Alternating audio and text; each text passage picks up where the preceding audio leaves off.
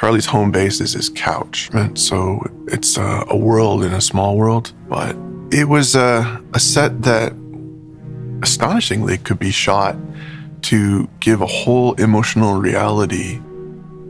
Charlie's man of letters, and the walls are lined with his books, and each book was curated to be definitely something that Charlie would have read or would have taught or owned. Darren doesn't miss anything. And I think, especially with a movie like this, which is so contained, that detail is so necessary. One of the things that attracted me to it was how confined it was, because I believe that when you have restrictions and you have boundaries, that's where you can start to stylize things and make things your own. So this was really an exercise, reducing everything to the real basic form of cinema, which is performance, light, and camera to make it all about drama and figuring out how to move the actors around the room and then figuring out how the camera could sort of dance with them.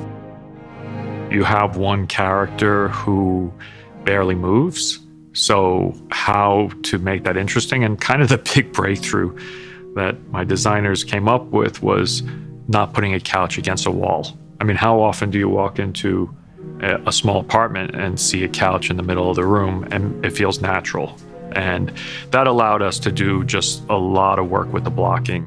Charlie lives alone in a two bedroom apartment somewhere in Idaho. He's a, an English teacher who instructs students online using a webcam. And he likes to keep it turned off, not wanting to distract them by how they might judge him for how he appears.